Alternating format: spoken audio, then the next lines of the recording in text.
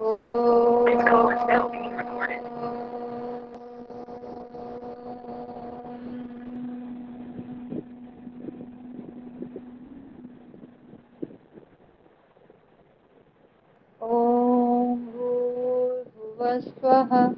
तत्सवितुर्वरेण्यं भर्गो देवस्य धीमहि धियो यो नः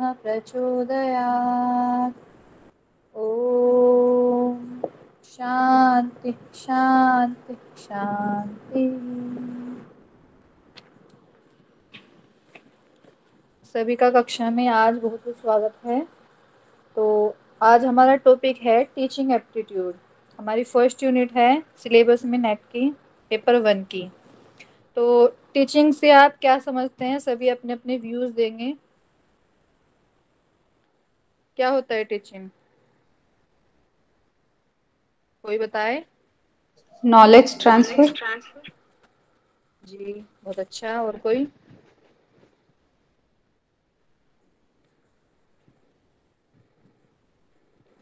सो गए क्या? अभी रात हुई नहीं है टाइम हुआ नहीं है सोने का। बताइए।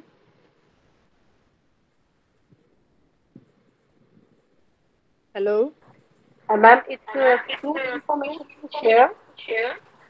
जी। ओके चलिए स्टार्ट करते हैं।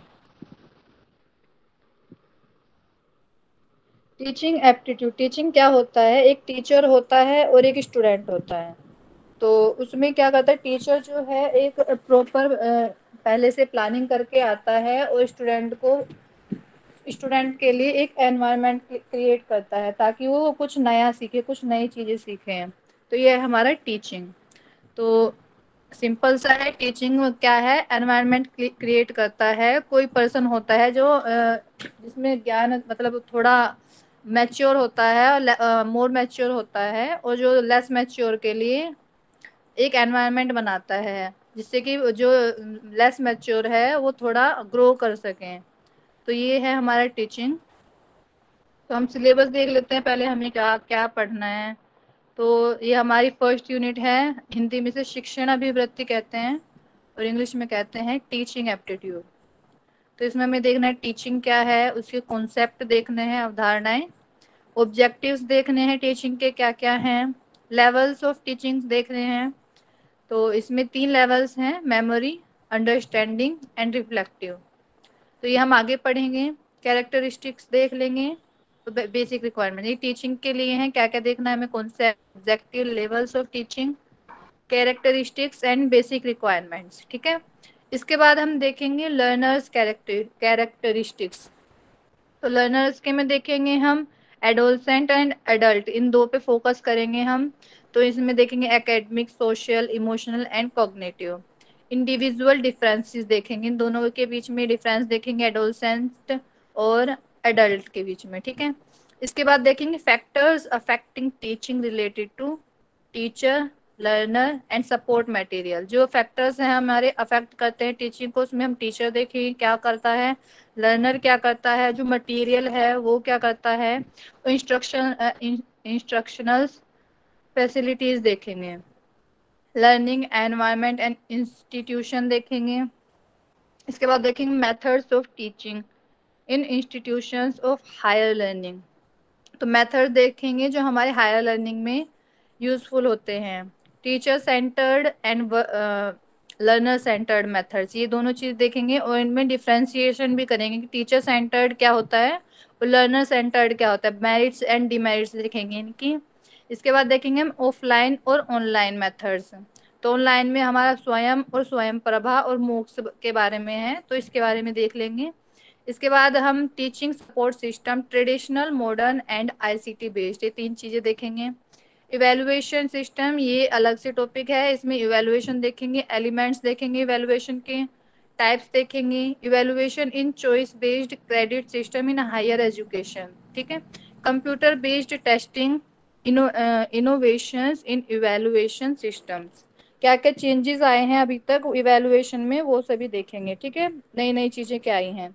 तो ये हमारा सिलेबस है छोटा सा सिलेबस है लगभग दस दिन में कंप्लीट हो जाएगा। तो आप सभी कंटिन्यू रहेंगे ताकि आपको कोई कंफ्यूजन ना हो। ठीक है तो सबसे पहले जी? देख लेते हैं। जी? पोर्ट्रेट मोड में कर लीजिए। ये? हाँ टिल्ट कर लीजिए। तो रिकॉर्डिंग में आपको प्रॉब्लम होगी फिर अगर मैं ऐसे कर लेती हूँ। इस पे शो ऐसे नहीं हो रही है ये शो नहीं हो रही किसी को प्रॉपर जूम करना पड़ रहा है हिमांशी जी इसको।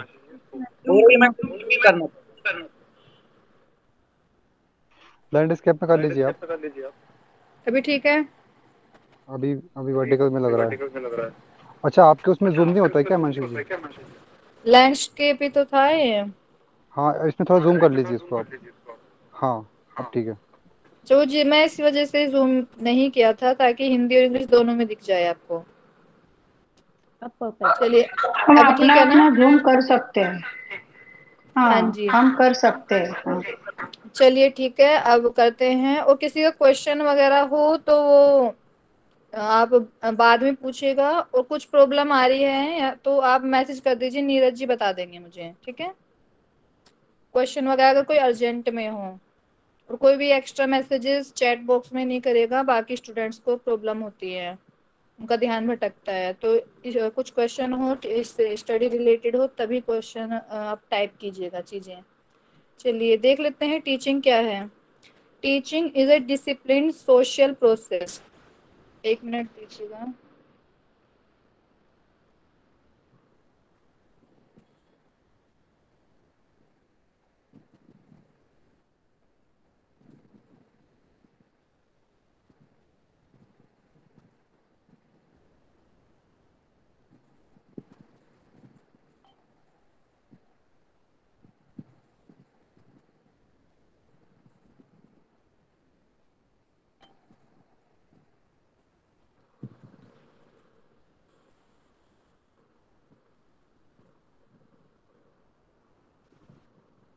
स्क्रीन शो हो रही है ना सभी को? जी मैम। हाँ दीदी जी ठीक है। टीचिंग क्या है ये देख लेते हैं। तो teaching is a discipline social process. ये डिसिप्लिन में चलती है और एक ये प्रोसेस है ठीक है? Which in which a teacher by virtue of his ideal position status knowledge and experiences तो टीचर में क्या होना चाहिए? आइडियल पोजीशन, आदर्श होने चाहिए, स्टेटस होना चाहिए, एक हाई लेवल का नॉलेज होनी चाहिए उसके पास प्रॉपर और एक्सपीरियंस होना चाहिए, जिससे वो क्या करता है स्टूडेंट को इन्फ्लुएंस करता है। ठीक है? जो लेस एक्सपीरियंस्ड प्यूपिल है, जो हमारा स्टूडेंट है, उसको इन्फ्लुएंस करता है। तो and helps him to develop according to the needs and ideals तो जितनी नीड होती है, उसके अकॉर्डिंग वो डेवलप होता है प्यूपिल जो हमारे स्टूडेंट है।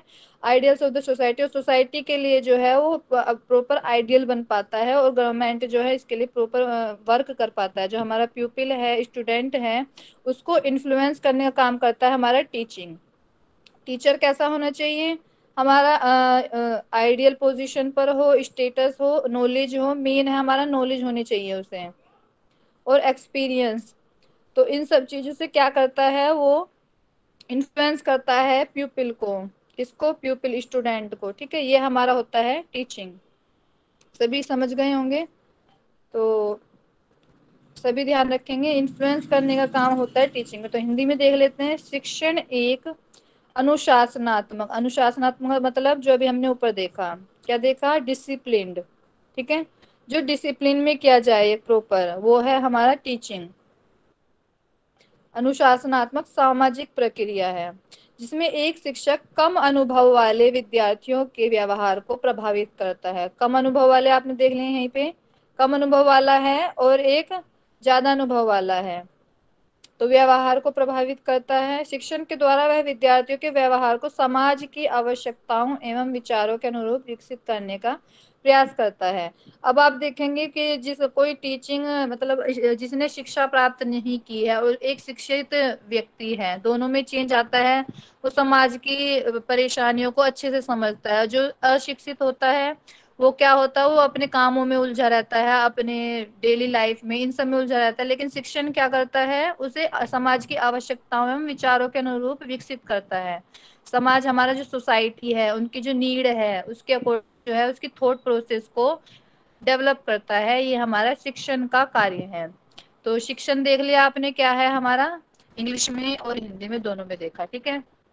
अब हम ये देख लेते हैं, शिक्षण का व्यापक और संकुचित अर्थ क्या है। तो व्यापक क्या होता है? जो संपूर्ण संसार द्वारा प्राप्त हो हमें शिक्षा। ठीक है?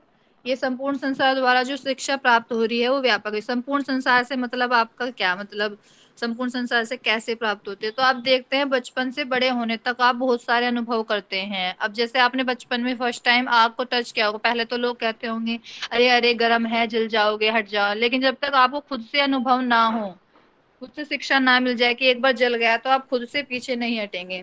तो ये हमारे क्या संसार के द्वारा शिक्षा प्राप्त हो रही है? आप गिरे आपको चोट लगी तो वो हमें शिक्षा प्राप्त हो रही है। कहीं से भी कभी भी किसी भी प्रकार जो शिक्षा प्राप्त हो वो हमारे व्यापक अर्थ के अंतर्गत आएगा। सभी को आवाज़ आ रही है? बता दीजिए एक बार। हेलो हाँ जी। तो ठीक है व्यापक अर्थ है कि हमारा कहीं से भी किसी भी प्रकार में किसी भी एज में किसी भी जीव जंतु से जो प्रा, शिक्षा प्राप्त हो हमें वो व्यापक अर्थ है। जैसे हम वृद्धावस्था में भी हमें शिक्षा मिलती है बचपन से बुढ़ापे तक युवा हो वृद्धा हो शिशु की अवस्था हो सभी उसमें हमें शिक्षा प्राप्त होती है संपूर्ण संसार से हमारा ये तात्पर्य है ठीक है? व्यापक अर्थ हो गया हमारा। अब संकुचित अर्थ क्या है हमारा? जो केवल शिक्षण संस्थानों में दी जाती है। वो है हमारा संकुचित संकुचित मतलब नैरो छोटा।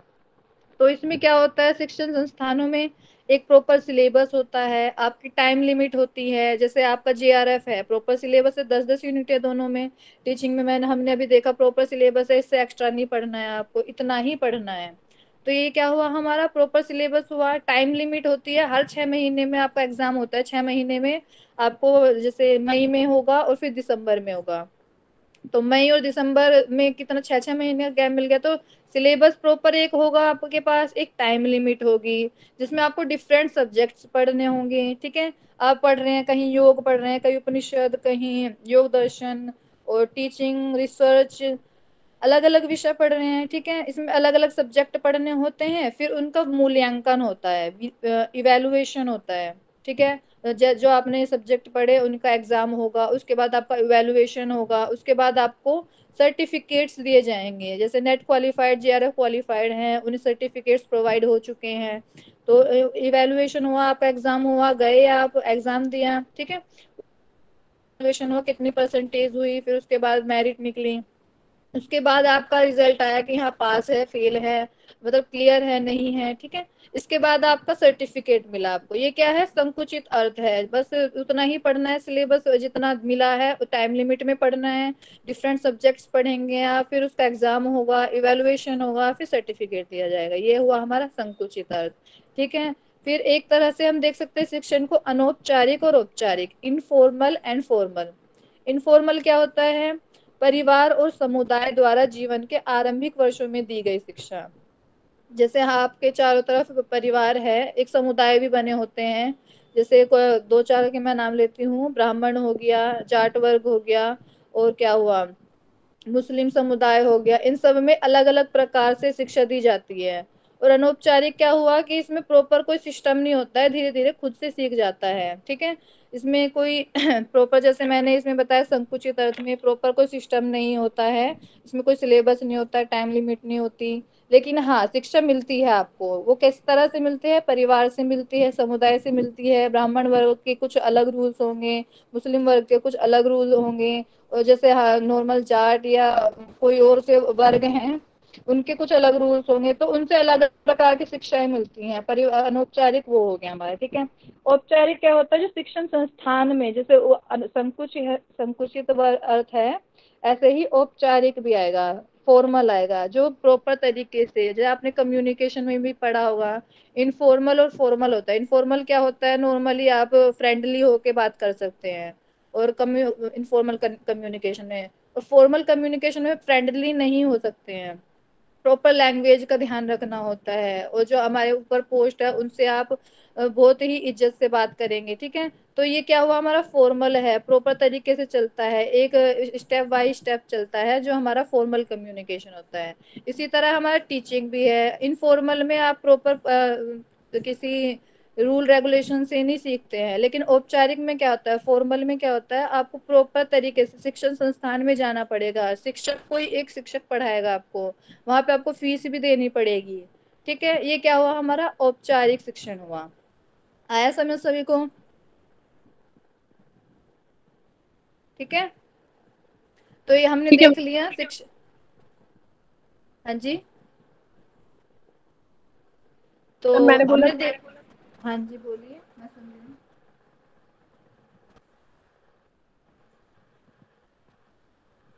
चलिए बाद में ले लेंगे आपके डाउट ठीक है? तो हमने क्या देखा? व्यापक और संकुचित व्यापक किसकी तरह है? अनौपचारिक की तरह है। और संकुचित क्या है? औपचारिक की तरह है। तो व्यापक में देखा हमें पूरे संसार के द्वारा हमें शिक्षा प्राप्त होती है, वो हमारा व्यापक हो गया। और संकुचित क्या हुआ? जो केवल शिक्षण संस्थानों में आके proper syllabus proper time limit proper subject इन सब के साथ जो पढ़ाया जाता है, इन सब के साथ जो शिक्षा प्राप्त होती है, वो आपका संकुचित अर्थ के अंतर्गत आएगा। इसके बाद अनौपचारिक, औपचारिक। अनौपचारिक जो इनफॉर्मल जो परिवार और समुदाय द्वारा प्राप्त होती है। नॉर्मली जो आपको डेली यूज़ में जो शिक्षा प्राप्त होती है फैमिली से, सुबह को उठना, नहाना, धोना, ये सब जो है आपको जो शिक्षा मिलती है कि हमें सुबह उठकर नहाना चाहिए, पूजा वगैरह करनी चाहिए और हमें योगा करना चाहिए। अगर आपके परिवार में योगा करते हैं तो आप ये सीखेंगे कि हाँ हमें सुबह को योगा करना चाहिए हमारी बॉडी के लिए अच्छा। अगर नहीं करते हैं तो आप कुछ और सीखेंगे कि हाँ सुबह को उठते हमें खाना चाहिए ब्रेकफास्ट करना चाहिए या आ जाएगा हमारा अनौपचारिक शिक्षा में। औपचारिक हमारा हो गया शिक्षण संस्थान में शिक्षक द्वारा जो दी गई शिक्षा है, जहाँ हम, आपको एक टीचर मिलेगा और आप उसको फ़ी देंगे। फ़ी के बाद आपको क्या होगा?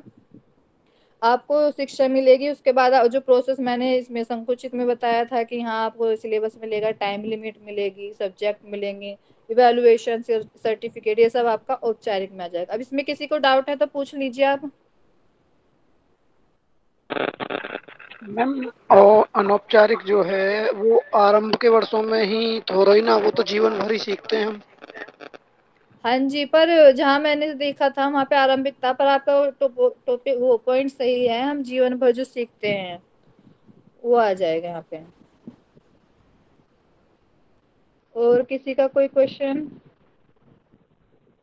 यहाँ से आप ये अपने नोट्स में हटा देंगे आरंभिक वर्षों में जो जीवन काल वो वो सॉरी जीवन पर्यंत जो शिक्षा प्राप्त होती है वो हमारा अनौपचारिक आएगा वो परिवार और समुदाय के सदस्यों से जो प्राप्त होते हैं ठीक है?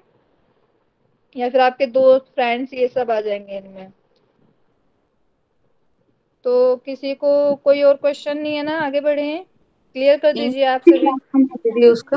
वो पहले दोनों का नाम क्या है? इंग्लिश इंग्लिश में कोई बता सके तो बता दीजिए मुझे नहीं पता है व्यापक और संकुचित को क्या बोलेंगे। मैम हम इसको इंग्लिश में ये स्लाइड इंग्लिश में नहीं इसकी स्लाइड मैम इंग्लिश में नहीं सॉरी से कि मेरे पास इंग्लिश में नहीं है। एक एक लाइन है इसी तो आप खुद भी तो व्यापक का मैं व्यापक और संकुचित और जो व्यापक के अंडर लिख लेंगे given by the whole world that is व्यापक का जो भी वर्ड आएगा ठीक है? ऐसे संकुचित का कर लेंगे। टीचिंग संस्थान को क्या बोलेंगे कोई बताए? हिमांशी जी ने एजुकेशनल इंस्टीट्यूट हाँ एजुकेशनल इंस्टीट्यूट के द्वारा जो खाली ये संकुचित अर्थ में शिक्षण संस्थान का आ जाएगा आपका एजुकेशनल इंस्टीट्यूट परिवार और समुदाय फैमिली आ जाएगा। समुदाय का बताए कोई? Social formal informal and non formal ये जो आपके चार है ना इंग्लिश में ही दिए गए फॉर्मल इनफॉर्मल और नॉन फॉर्मल नहीं इनफॉर्मल और चलो चलिए मैं ये देख के आपको कल बताती हूँ ठीक है? ये तीन चीज़ें मैं आपको कल बताती हूँ। अभी आप ये समझ लीजिए चार जो मैंने बताए हैं। अभी हिंदी में समझ लीजिए समझ तो आ गया होगा इंग्लिश वालों को क्या बताना चाह रही हूँ मैं?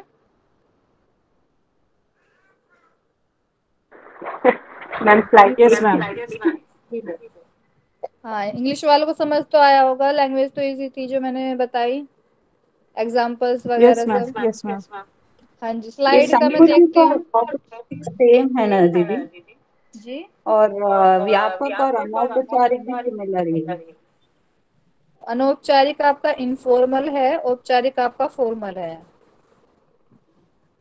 व्यापक और अनौपचारिक ऑलमोस्ट सिमिलर मीनिंग दे रहे हैं हाँ। जी संकुचित और औपचारिक सिमिलर है। बाकी हम्म। मैं जो कविता जी बता रही हैं उसका देख के आपको बताती हूँ ठीक है? आप टेंशन ना लें। अभी आगे बढ़ते हैं इनकी डेफिनेशंस पर क्या है टीचिंग में? मैम संकुचित का मतलब है फ्लेक्सिबल फ्लेक्सिबल नहीं बोल सकते इसे हम। चलिए मैं बताती हूँ आपको कल बताती हूँ ठीक है?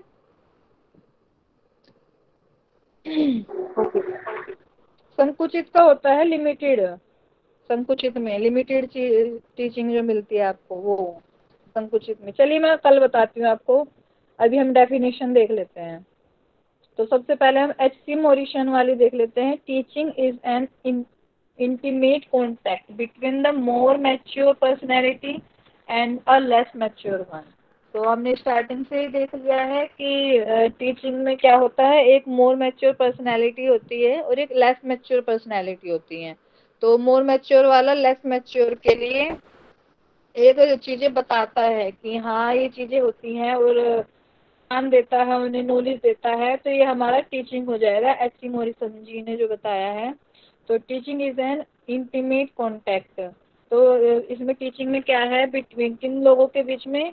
More mature personality and less mature one के बीच में। तो ये एच मोरी एच सी मोरिसन की देख लेंगे आप डेफिनेशन इजी सी है। इसके बाद है जैक्शन जैक्शन का क्या है? Teaching is a face to face encounters between two or more person one of whom uh, intends to affect certain changes in the other participant. तो जैक्सन ने क्या बताया है? टीचिंग एक फेस टू फेस एनकाउंटर है। इनके बीच में दो या दो से ज़्यादा लोगों के बीच में जिसमें एक टीचर होता है और एक स्टूडेंट होता है।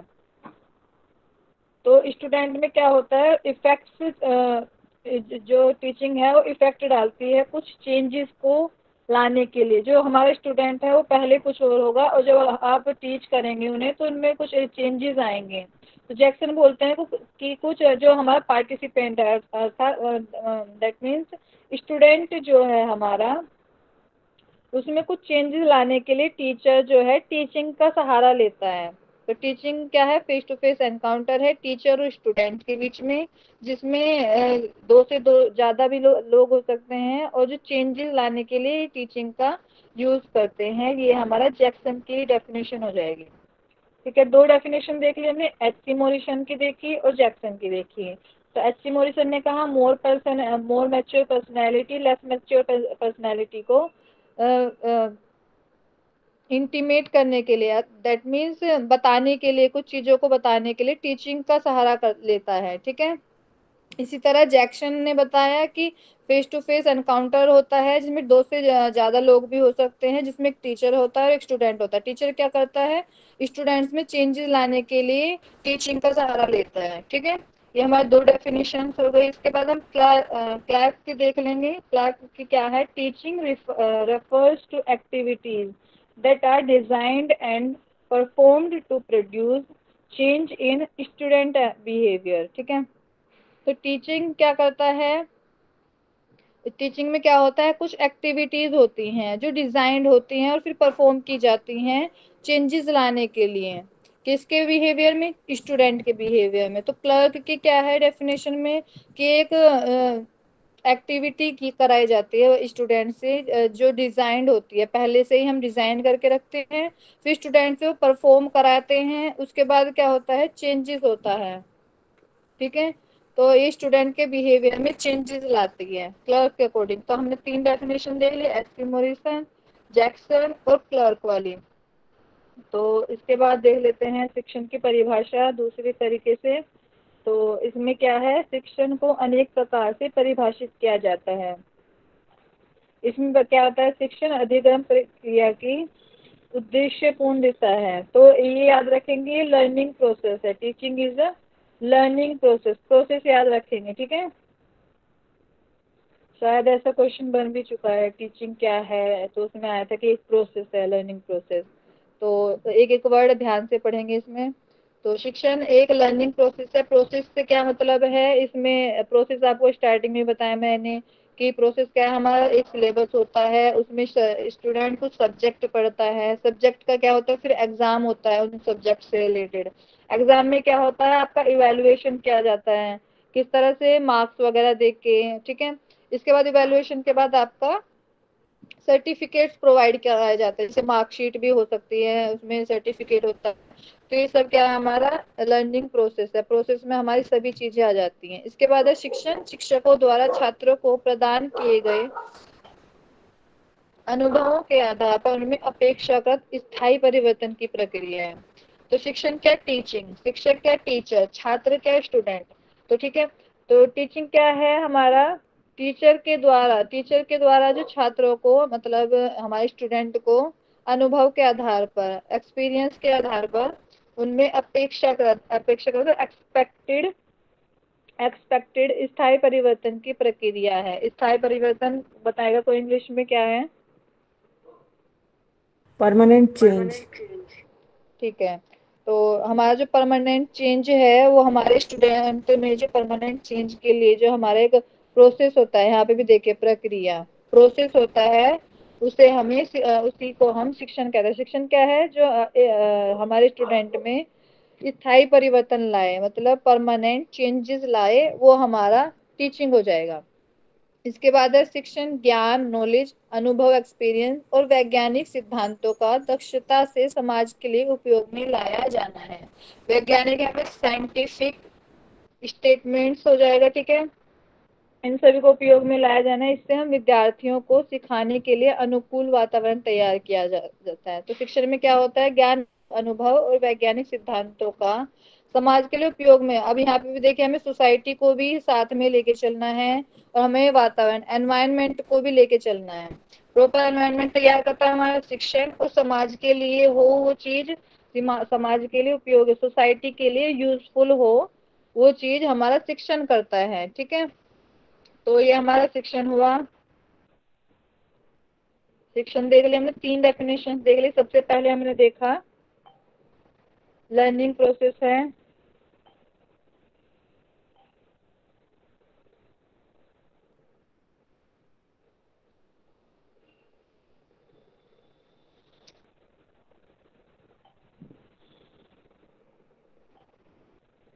चलिए। ठीक है, हमने सबसे पहले देखा शिक्षण अधिगम अधिगम प्रक्रिया के दृष्टिकोण तो ये क्या है, हमारा लर्निंग प्रोसेस है टीचिंग इसके बाद हमने देखा कि स्थायी परिवर्तन की प्रक्रिया है। इसके बाद हमने देखा अनुकूल वातावरण तैयार करता है और जो हमारे समाज के लिए उपयोग हो सोसाइटी के लिए यूजफुल हो। ठीक है, इसके बाद है शिक्षण एक योजनाबद्ध गतिविधि है। तो यहाँ पे हमने क्या देखा, योजनाबद्ध गतिविधि है। ये बड़ा दिक्कत कर रहा है। चलिए। अच्छा तो ये क्या है? शिक्षण योजनाबद्ध गतिविधि है। इसकी प्रभावशीलता इस बात पर निर्भर करती है कि शिक्षार्थी कितनी सुगमता और सरलता से, शुद्धता से विषय वस्तु को ग्रहण करते हैं। तो योजनाबद्ध वही है। हमारा योजनाबद्ध हो गया। एक प्रॉपर हम एक योजना बनाकर जो हम कार्य करते हैं, वो हमारा हो जाएगा। शिक्षण। गतिविधि है, एक प्रॉपर चलती रहती है डायनेमिक है, ठीक है? इसकी प्रभावशीलता इस बात पर निर्भर करती है। अब हमारी टीचिंग कब इफ़ेक्टिव होगी? जब हमारा जो शिक्षार्थी है स्टूडेंट है, सुगमता, सरलता इजीली जो है प्रॉपर क्लियरिटी के साथ सीख सके। वो हमारा शिक्षण हो जाएगा। ये एक योजनाबद्ध गतिविधि है और इसकी प्रभावशील इफ़ेक्टिव कब होता है हमारा टीचिंग जब वो इजीली समझ सके और प्योरली समझ सके। शुद्धता मतलब प्योर तरीके से आ, आ, बस जो हम बताना चाह रहे हैं उसे ग्रहण कर सके। ग्रहण का मतलब वो पा सके उस विषय वस्तु को जो हम बताना चाह रहे हैं ठीक है? तो हमारा हो गया योजनाबद्ध गतिविधि है। प्रभावशीलता कब होती है? जब इजीली उसे समझ सके ठीक है? एक ये वाली डेफिनेशन देखी हमने। इसके बाद है शिक्षण पूर्व निर्धारित उद्देश्यों को प्राप्त करने के लिए शिक्षार्थी शिक्षक और अन्य चरों को। याद रखेंगे इसमें शिक्षार्थी, शिक्षक और अन्य चर। वेरिएबल्स होते हैं शिक्षण में डिफरेंट डिफरेंट टाइप के, जैसे इंडिपेंडेंट डिपेंडेंट और इंटरवेनिंग तो इंडिपेंडेंट को आप इससे याद रखेंगे। इंक इंक मतलब इन हो गया हमारा इंडिपेंडेंट सी हो गया हमारा कोज तो ये, याद करने का बहुत अच्छा तरीका है। इंक से आप याद रखेंगे इंडिपेंडेंट मतलब इंडिपेंडेंट वेरिएबल है हमारा शिक्षक। और डिपेंडेंट वेरिएबल हमारा शिक्षार्थी ठीक है? तो ये हमारे तीन वेरिएबल होते हैं इसमें। एक तो इंडिपेंडेंट होता है एक डिपेंडेंट होता है और एक होता है इंटरवेनिंग ये तीन वेरिएबल हमारे टीचिंग में आते हैं। तो इंडिपेंडेंट वेरिएबल हमारा होता है टीचर डिपेंडेंट वेरिएबल होता है हमारा शिक्षार्थी स्टूडेंट इंटरवीनिंग वेरिएबल वे होते हैं जो हमारे यूजफुल होते हैं। इस टाइम में हमारे टीचिंग में क्या यूजफुल है? गूगल मीट ठीक है? मोबाइल नेटवर्क ये हमारे किसमें आएँगे? इंटरवेनिंग वेरिएबल में, ठीक है? जो हमारे, हमें इस चीज़ में हेल्प कर रहे हैं। वो आ जाते हैं हमारे इंटरवेनिंग इंटरवेनिंग वेरिएबल्स ठीक है?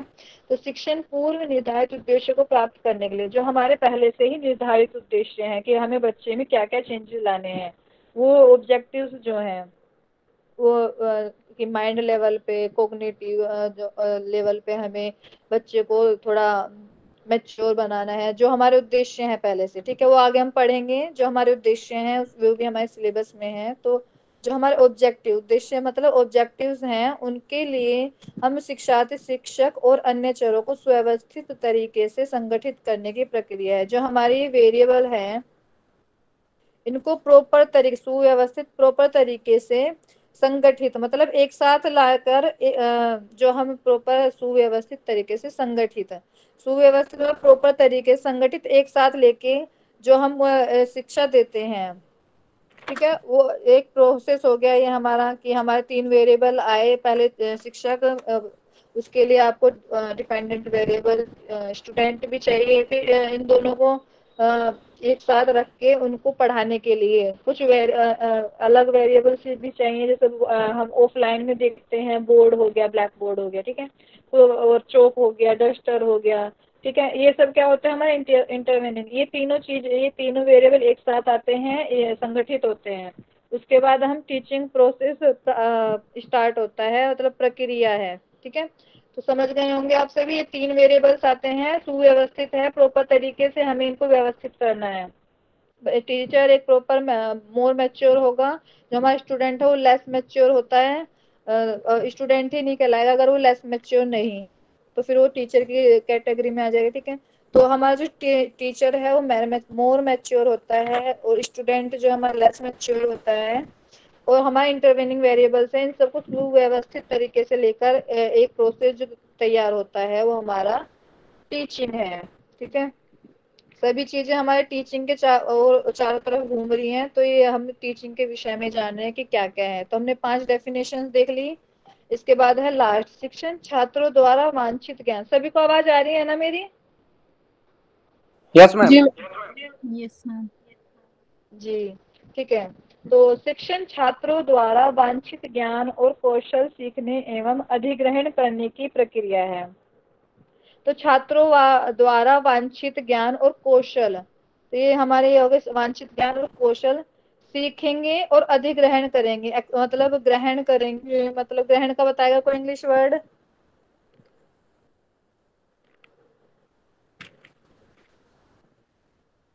एक्सेप्ट करना एक तरह से है ना? ग्रास्पिंग होता है। हाँ। जी? ग्रास्प करना समझना। हाँ ग्रास्प हाँ मुझे सुना दिया अभ्यास। चलिए ग्रास्प करना होगा ठीक है? तो यहाँ पे क्या है? शिक्षण छात्रों द्वारा वांछित ज्ञान और कौशल सीखने एवं अधिग्रहण करने की प्रक्रिया है। इसमें क्या होता है? वांछित ज्ञान कौशल दिया जाता है, जिसमें जो हमारा लर्नर है, वो सीखता है और फिर उसे अधिग्रहण करता है ग्रास्प करता है, ठीक है? ये हमारा क्या हुआ? टीचिंग हो जाएगा, शिक्षण हो जाएगा, जिससे वे समाज में बेहतर जीवन यापन कर, जीवन यापन कर सके। अब यहाँ पे फिर से समाज आ गया और जीवन यापन आ गया, ठीक है? तो यहाँ पे क्या हुआ? हमारा शिक्षण छात्रों द्वारा वांछित ज्ञान और कौशल सीखने एवं अधिग्रहण करने की प्रक्रिया है। वो प्रॉपर नॉलेज लेता है और कौशल क्या होता है? कौशल होता है कुछ कौशल बताएगा कोई इंग्लिश में? हिंदी वालों को तो कोई दिक्कत नहीं है लेकिन इंग्लिश में थोड़ा मुझे डिफ़िकल्ट होता है। तो क्योंकि मैं इंग्लिश में थोड़ी तैयारी नहीं करके आई हूँ हिंदी में ही पढ़ा पढ़ाती हूँ मैं तो इस वजह से है थोड़ा हाँ स्किल्स तो कल से मैं इंग्लिश में भी तैयार करके आऊँगी। तो यहाँ पे था हमारा शिक्षण छात्र थैंक यू तो सभी का जो सपोर्ट कर रहे हैं इंग्लिश बता रहे हैं। तो शिक्षण छात्रों द्वारा मानसिक ज्ञान और कौशल सीखने एवं अधिग्रहण करने की क्रिया है। तो इसमें स्किल्स जो है नॉलेज लेता है हमारा लर्नर और स्किल्स लेता है उनको सीखता है फिर अधिग्रहण करता है। ये प्रोसेस है हमारा ठीक है? इस प्रोसेस से क्या होता है उसको जीवन यापन समाज में बेहतर जीवन यापन करने की चीज़ें मिलती हैं जिससे कि वो जीवन यापन कर सके। अब एक बार रिव्यू दे, देख लेते हैं हम क्या क्या पढ़ा हमने अभी छह डेफिनेशन देखी। तो सबसे पहले हमने देखा शिक्षण एक अधिगम अधिगम प्रक्रिया लर्निंग प्रोसेस है। इसके बाद देखा हमने स्थायी परिवर्तन की प्रक्रिया है परमानेंट चेंजेस लाता है उसके व्यवहार में, ठीक है? इसके बाद हमने देखा था कि एक अनुकूल वातावरण तैयार करता है हमारे टीचर ठीक है? अपने ज्ञान, अनुभव और वैज्ञानिक सिद्धांतों के आधार पर उपयोग में लाता है और फिर विद्यार्थी को सिखाता है, ठीक है? इसके बाद है हमारा योजनाबद्ध गतिविधि है। प्रॉपर योजना से चलता है हमारा टीचिंग ठीक है? गतिविधि मतलब डायनेमिक है, इसकी प्रभावशीलता भी देखी हमने किस तरह से ताकि जब तक स्टूडेंट को अच्छे से चीज़ें ग्रहण ना कर कर सके, वो हमारी टीचिंग बेकार है। तो ये देख लिया हमने कि प्रभावशीलता कब मिलती है हमें टीचिंग में। तो वो है कि जब तक शिक्षार्थी अर्थात लर्नर को सुगमता और सरलता से चीज़ें ना मिले।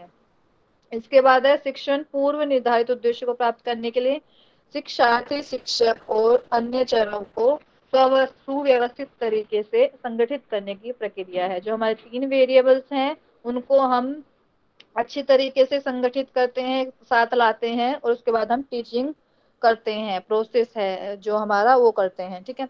इसके बाद है शिक्षण छात्रों द्वारा वांछित ज्ञान और कौशल सीखने एवं अधिग्रहण करने की प्रक्रिया। तो हमारा जो नॉलेज और स्किल्स है, उनको सीखता है हमारा स्टूडेंट और उसको ग्रास्प भी करता है, ठीक है? तो ये हुआ हमारा टीचिंग सभी समझ गए होंगे? दो बार हो गया है अब इसकी अवधारणाएँ देख लेते हैं, क्या है? कॉन्सेप्ट हमारा टॉपिक है, हमारा टीचिंग में कॉन्सेप्ट तो इसमें सबसे पहला है शिक्षण के तीन आधार थ्री पिलर्स ऑफ़ एजुकेशन इसमें बताया गया है कि इसके जो हमारा टीचिंग प्रोसेस है, इसमें तीन प्रश्न उठते हैं कि ये क्यों है? कुछ भी वस्तु देखेंगे आप, उसमें बोलेंगे, ये क्यों है? ये कैसे है? ये है क्या? ठीक है? तो ये तीन प्रश्न उठते हैं तो यही इसी से हमारे तीन आधार उत्पन्न होते हैं। क्यों का उत्तर देता है? हमारा दर्शन शास्त्र। कैसे का उत्तर देता है हमारा मनोविज्ञान साइकोलॉजी क्यों का उत्तर देता है फिलोसफी क्या का उत्तर देता है समाजशास्त्र सोशियोलॉजी ठीक है? तो क्यों का उत्तर देगा हमारा दर्शन शास्त्र फिलोसफी की क्यों है चीज़ें?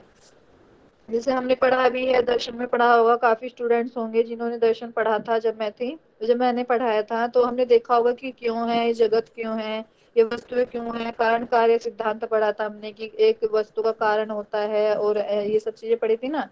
तो क्यों है? दर्शन शास्त्र बताता है फिलोसफी बताती है। कैसे है मनोविज्ञान? जब आप मानसिक मानसिक लेवल पर मतलब मानसिक हो जाएगा आपका माइंड के लेवल पे जो तर्क वितर्क करेंगे कैसे है तो आपका मनोविज्ञान, जब तक आपका मनोविज्ञान काम नहीं करेगा तो दर्शन शास्त्र आप कैसे समझेंगे?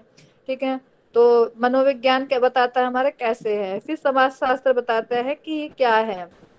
ठीक है? ये तीनों चीज़ें हो गई, ये तीन पिलर्स हैं। दर्शन शास्त्र मनोविज्ञान और समाज शास्त्र तो ये समझोगे कि थ्री पिलर्स ऑफ़ एजुकेशन क्या है और क्यों है? आगे बढ़े। Yes, ठीक है इसके बाद है हमारा आदर्शवाद आइडियलिज्म तो आइडियलिज्म क्या है आदर्शवाद क्या है? तो आदर्शवाद बोलता है कि जो हमारा खाली माइंड है एक हमारे पास स्पेशल पावर होती है खाली माइंड के पास माइंड जो है आपकी, चीज़ें समझ लेता है, ठीक है? तो ये कहता है आदर्शवाद real knowledge is perceived in mind then knowledge gain from the senses तो रियल जो नॉलेज है आपके दिमाग के द्वारा प्राप्त होती है, ना कि सेंसेस के द्वारा। ये हमारा आदर्शवाद कहता है। स्पिरिचुअलिटी के बारे में बात आता है तो यह नैतिक मूल्य, आध्यात्मिकता आत्म अनुभूति आत्म अनुशासन व्यक्तित्व के उन्नयन पर बल देता है। लेकिन ये सब केवल यह मानता है कि यह खाली जो हमारा ज्ञान प्राप्त होता है नॉलेज जो मिलती है हमें, खाली माइंड के द्वारा मिलते हैं, दिमाग के द्वारा, जो हमारा सेंसेस है, इनका कोई काम नहीं होता है, ठीक है? आइडियलिज्म में याद रखेंगे कि यहाँ पे खाली माइंड की बात की गई है, ठीक है? इसके समर्थक हैं हमारे श्री अरविंदो हैं, Swami Dayanand, Vivekananda, Kant, Plato, Froebel, ठीक है? ये हैं हमारे। कैंट है और प्लेटो है और फ्रेबल है, ठीक है? ये इसके समर्थक है जो आदर्शवाद को मानते कि हाँ हमारा माइंड ही है जो ज्ञान प्राप्त करता है। लिख लेंगे सभी, श्री अरविंदो हैं, स्वामी दयानंद हैं और विवेकानंद हैं। आदर्शवाद के समर्थक हैं ये सभी, ठीक है?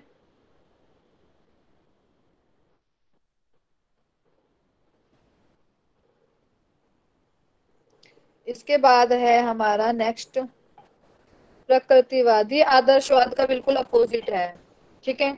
इसको कौन कौन मानता है? इसको मानते हैं, टैगोर मानते हैं और मतलब समर्थक जो करते हैं, समर्थन। हर्बर्ट स्पेंसर है जो प्रकृतिवाद को मानते हैं ठीक है? इसके बाद है रोसेयो ठीक है? सभी लिख लेंगे इस चीज़ को। और डाल्टन भी जो अपनी चीज़ें बताता है शिक्षा से रिलेटेड जो विधियाँ बताता है वो भी प्रकृतिवाद को ही बताता है। तो प्रकृतिवाद देख ले तो बात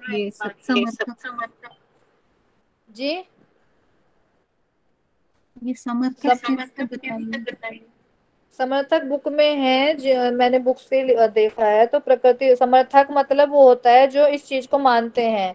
अब जैसे योगा है योगा को कौन कौन मानते हैं? रामदेव जी मानते हैं आचार्य बालकृष्ण लड़ाई हुई थी एलोपैथी और योगा से रिलेटेड समर्थक वो होते हैं जो उस चीज़ को मानते हैं। ठीक है? फॉलोअर फॉलोअर जी? जो फॉलो करते हैं उसको। हाँ फॉलोवर्स ठीक है? जो फॉलो करते हैं तो प्रकृतिवाद को कौन कौन फॉलो करते हैं? टैगोर जी करते हैं और डाल्टन भी करते हैं हर्बर्ट स्पेंशर है और रोसेयो है। जो फॉलो करते हैं, प्रकृतिवाद को ये चार पाँच नाम है तो आप याद रखेंगे। तो नेचुरलिज्म क्या है कि जो हमें जो ज्ञान प्राप्त होता है, सभी चीज़ों नेचर से प्राप्त होता है। नेचर जैसे क्रिया द्वारा सीखना, जैसे आप आग है, किसी बच्चे को बोलोगे स्टार्टिंग में कि नहीं, आग को मत छुओ भाई, आप जल जाओगे। तो ये क्या हुआ, आपका क्रिया द्वारा सीखेगा कि हाँ तब तो सीखा नहीं वो। जब खुद हाथ लगा उसका आग पे, जला, फिर रोया, फिर उसे सीखा हाँ इससे तो दर्द होता है। तो क्रिया द्वारा सीखा, फिर प्रकृति से सीखा सेंसिस से सीखा तो ये हमारा प्रकृतिवाद के अंतर्गत आएगा। अनुभव द्वारा वही आग का देख लेंगे हम, या फिर कुछ कड़वा है, कोई चीज़ें तो खा के देखेगा वो, जो बच्चे की आदत होती है, वो क्या होती है? कुछ भी चीज़ दो मुँह में रख लेता है। तो आप एक चीज़ को दो तीन बार दोगे, कड़वी चीज़ को तो उसे पता चल जाएगा हाँ भाई ये कड़वा है, मैं नहीं खाऊँगा आगे से। टेस्ट अच्छा नहीं है इसका। तो अनुभव द्वारा पता चला, इंद्रियों द्वारा पता चला, अगर आप जीव या हाथ को से टच नहीं करोगे, आग को टच नहीं करेंगे और जीव से आप खाओगे नहीं उस कड़वी चीज़ को, कैसे पता चलेगा? इंद्रियों द्वारा पता चलता है प्रकृतिवाद में। क्रीड़ा द्वारा, खेल खेल कूद के द्वारा जो पता चलता है वो हमारा प्रकृतिवाद है, नेचुरलिज्म है। तो इसमें क्या बोलते हैं कि खाली माइंड ही हमारा जो है, जो हम, हमने पहले पढ़ा था ऊपर, आदर्शवाद। जिसमें बोलता है कि एक आइडियल थिंग होती है हमारे अंदर, जो माइंड से ही हमें ज्ञान प्राप्त कराती है। तो लेकिन जो नेचुरलिज्म है, ये इसका विरोध करता है कि नहीं, जो हमारी डेली चीज़ें हैं, इनसे हम सीखते हैं। कि क्रिया द्वारा सीखते हैं, अनुभव द्वारा सीखते हैं, इंद्रियों सेंसेस के द्वारा सीखते हैं, अनुभव एक्सपीरियंस के द्वारा सीखते हैं, ठीक है? इंद्रियों के द्वारा सीखते हैं और क्रीड़ा द्वारा। तो जो हमारा डाल्टन है, इनके द्वारा शिक्षण विधियाँ दी गई हैं, वो प्रकृतिवाद के अंतर्गत ही आती हैं। ठीक है? तो ये हमारा प्रकृतिवाद था और हमने ऊपर देख लिया आदर्शवाद। अब इसके बाद है प्रयोजनवाद। प्रयोजनवाद प्रेगमेटिज्म।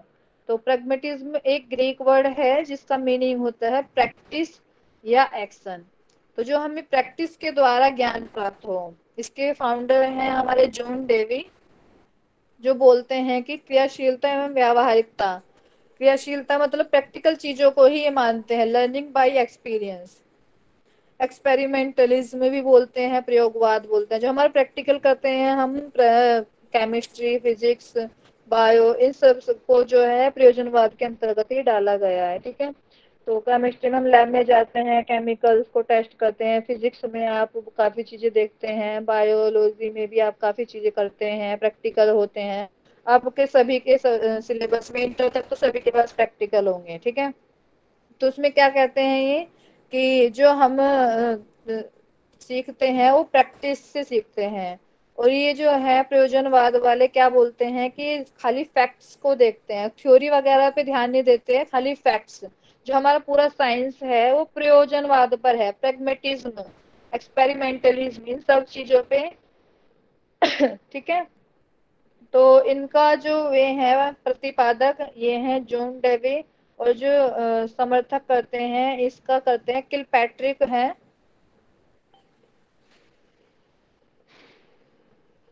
किल पैट्रिक हैं, ये समर्थन करते हैं, इस चीज़ को फॉलो करते हैं कि हाँ ये चीज़ सही है। और एक मेट के नाम के वैज्ञानिक हैं, वे भी इसको करते हैं। ठीक है, जोन डेवी तो आपको लिखा हुआ है ये ऊपर। ये तीन साइंटिस्ट हैं जो इसको प्रयोजनवाद का समर्थन करते हैं। तो इसके बाद हम कहा थे? तो ये हो गया इसका फाउंडर देख लिया हमने, प्रयोजनवाद क्या है हमारा? जो एक्सपेरिमेंट है, जो प्रैक्टिकल नॉलेज है लर्निंग बाय एक्सपीरियंस मतलब एक्सपीरियंस के द्वारा ही जो देखा जाता है, समझा जाता है, वो हमारा प्रयोजनवाद के अंतर्गत आ जाएगा। ठीक है? इसके बाद है हमारा अस्तित्ववाद एग्जिस्टेंशियलिज्म ये क्या बोलता है? अपने आप को जानो। मतलब एक इंसान पर फोकस करता है अस्तित्ववाद में। ये बोलता है, अपने आप को जानो खाली। और इसके प्रतिपादक है कीर्कगार्ड और व्यक्तित्ववाद पर अधिक ज़ोर देता है। इंडिविजुअलिज्म कि खाली अपने आप को जानो, ज़्यादा इधर उधर भटकने की ज़रूरत नहीं है। अस्तित्ववाद में ये अस्तित्व को निखारो अपने। ये चीज़ बोलता है हमारा अस्तित्ववाद एग्जिस्टेंशियलिज्म ठीक है? तो इन पाँच चीज़ों में किसी को कोई डाउट है तो पूछ ले।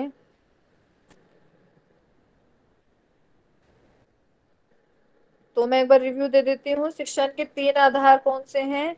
दर्शन शास्त्र, मनोविज्ञान और समाज शास्त्र, ठीक है?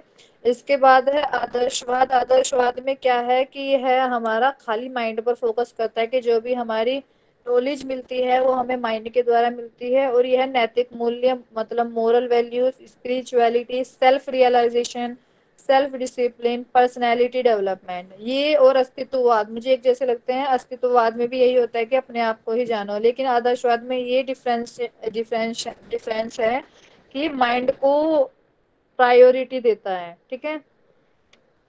इसके बाद हमने देखा प्रकृतिवाद प्रकृतिवाद में यही है कि जो हमारे प्रकृति के द्वारा सीखा जाता है नेचर के द्वारा सीखा जाता है, वो नेचुरलिज्म है, ठीक है? क्रिया द्वारा, अनुभव द्वारा, इंद्रियों द्वारा, क्रीड़ा द्वारा, डाल्टन द्वारा भी जो है, यही विधियाँ बताई गई है, ठीक है?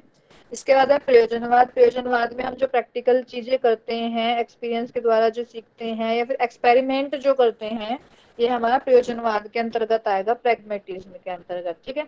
अस्तित्ववाद के फाउंडर हमारे कीर्कगार्ड और इसमें क्या होता है कि व्यक्तित्ववाद पर अधिक बल देता है इंडिविजुअलिज्म इंडिविजुअल को ही प्रायोरिटी देता है कि तुम अपने आप को जानो, इससे अधिक कुछ नहीं बोलता है तो ये हमारा हुआ, एक बार ऊपर से देख लेते हैं कि शिक्षण एक अनुशासनात्मक प्रक्रिया है, जिसमें एक से हमने हाँ यहीं से देखा ना, पहले तो हमने सिलेबस देख लिया था, इसके बाद हमने टीचिंग एप्टीट्यूड देखा कि टीचिंग क्या है, ठीक है? इसमें क्या है? अनुशासनात्मक मतलब डिसिप्लिन प्रोसेस है, ठीक है? इसमें कम अनुभव वाले विद्यार्थी को अधिक अनुभव वाला जो शिक्षक है, ज्ञान देता है तो उसे चीज़ें बताता है, उसके व्यवहार में चेंज लाता है, ठीक है? इसके बाद हमने देखा था व्यापक संकुचित, अनौपचारिक और औपचारिक। इसका डाउट मैं कल ले लूँगी तो मतलब कल समझा दूँगी आपको, जो इंग्लिश वाले हैं। बाकी हिंदी वालों के लिए बिल्कुल प्रॉपर है, आप चारों चीज़ें समझ सकते हैं, पढ़ सकते हैं, ठीक है? व्यापक का संकुचित अर्थ देख लिया हमने। व्यापक क्या होता है? संपूर्ण संसार द्वारा जो ज्ञान प्राप्त होता है। संकुचित अर्थ क्या होता है? जो शिक्षण संस्थानों में प्रॉपर सिलेबस टाइम लिमिट आवाज़ आ रही है मेरी सभी को? जी। जी।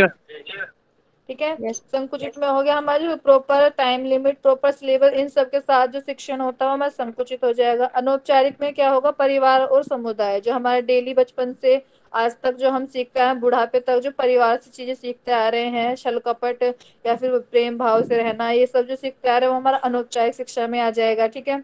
औपचारिक में शिक्षण आ जाएगा कि जो शिक्षकों द्वारा प्राप्त होती है प्रॉपर टाइम लिमिट जो हमारा प्रॉपर प्रोसेस है करिकुलम और जो हमारा सिलेबस है, इन सब चीज़ को एक साथ रख के जो हमारी शिक्षा दी जाती है, वो औपचारिक होता है, ठीक है?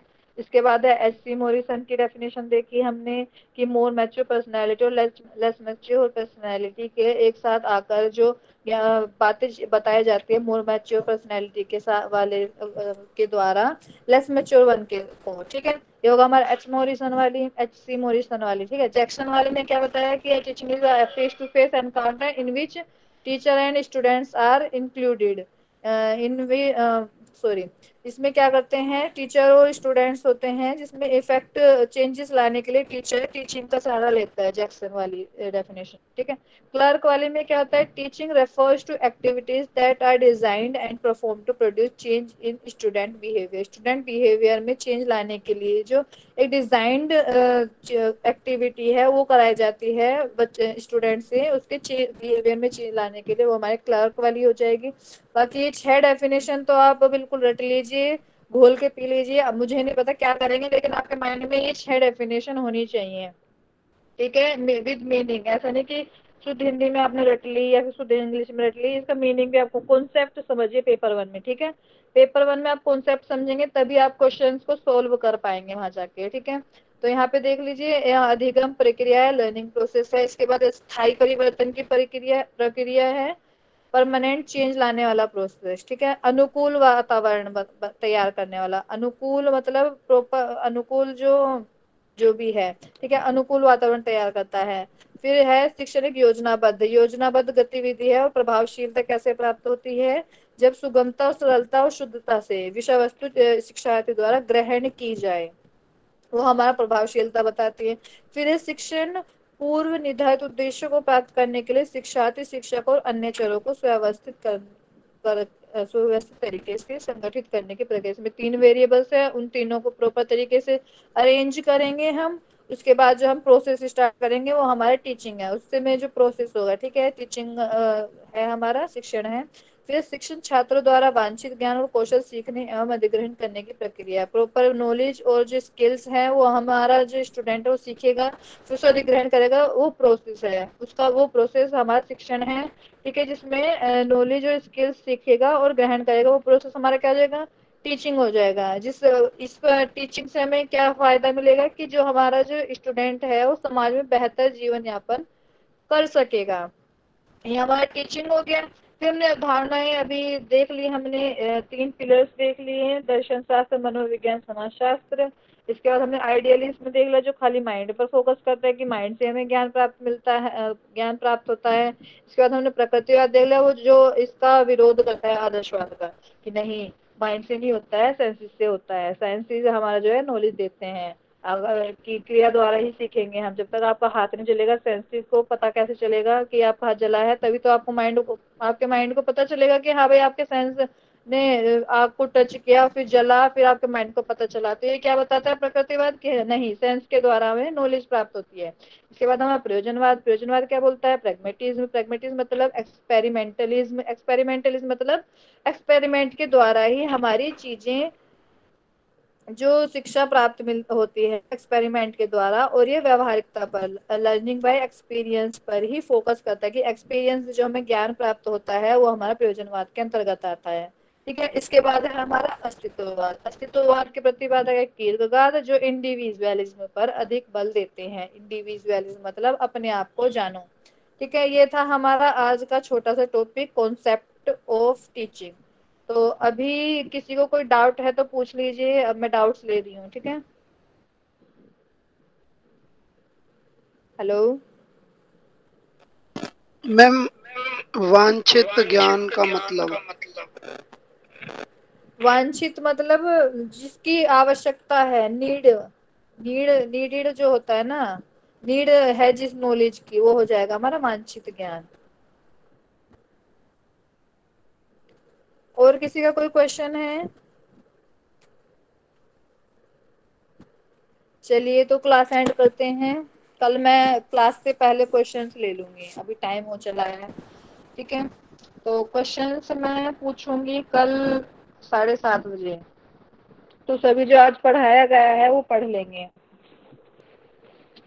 ठीक है? सभी आँखें बंद कर लेंगे। कमर गर्दन सीधी। ओम का उच्चारण। शांति पाठ ठीक है?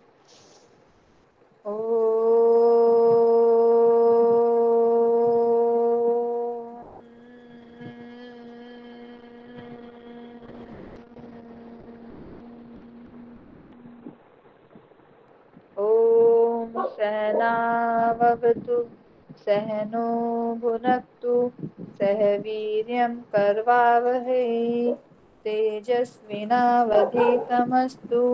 मा विद्विषावहे। ॐ शान्ति शान्ति शान्तिः। हरिओम सभी को। अभी